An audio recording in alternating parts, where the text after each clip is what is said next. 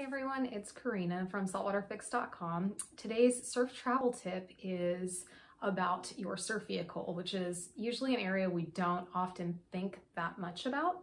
I do have four topics that you should consider when renting a surf vehicle for an out-of-town surf trip. So first and foremost, you should find out how the vehicle is powered. So is it four-wheel drive, all-wheel drive, two-wheel drive?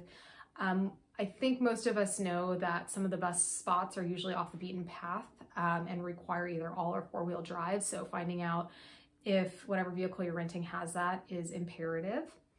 The second is what is the car's uh, roof rack system? So sometimes you'll see in pictures that a car has a roof rack, but it's a little bit difficult to make out what type of roof rack. So finding out what the clearance is on the roof rack, how much space there is between the rack and the top of the vehicle um, will allow you to figure out if you need to bring soft racks or tie downs, um, both of them or maybe just one.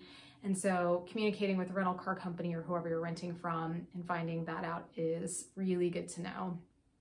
Third, I always ask if I am able to obtain a valet key. So a single key that I can tie around um, my bathing suit or just hold in my wetsuit so that um, I'm not having to mess around with having a fob that's in the car and I can't lock it and the car has to stay open or whatever the case may be. So I always request getting the valet key because it's also um, much easier to make a copy of and is cheaper if you, if anything happens versus like a key fob. So ask for that valet key if they have one.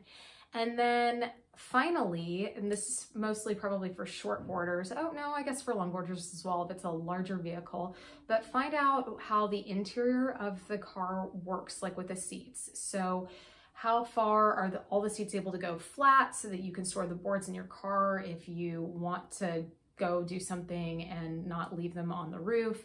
Um, I always like to find out what the space is in the car. One of the um, companies that I've been using for car rentals for surf trips lately is Turo, so T-U-R-O.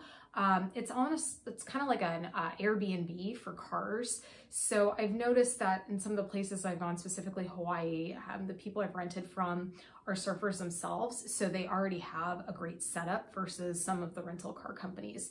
So you may want to check that out for your next trip as well. So I hope that helps and I hope I see you on the water soon. Take care.